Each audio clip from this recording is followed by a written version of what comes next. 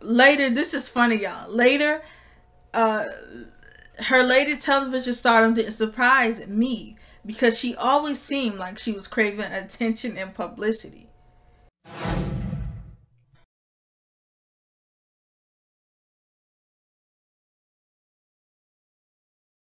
All right, so Bobby talks about his 1996 drunk driving arrest that continued to haunt him, and he was still in court for it, like in the 2000s, uh, early 2000s. And he said he hired a black woman named Phaedra Parks, who went on to become a reality television star, the Real Housewives of Atlanta. And he said later, this is funny, y'all. Later, her later television stardom didn't surprise me because she always seemed like she was craving attention and publicity.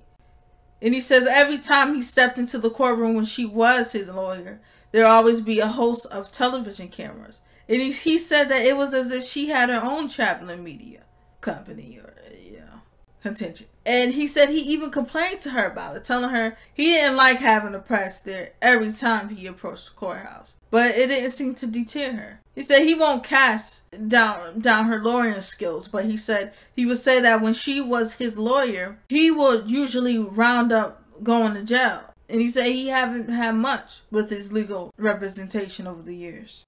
so Bobby says what he said now. He said now she liked attention. And uh, I think I can agree with him like that.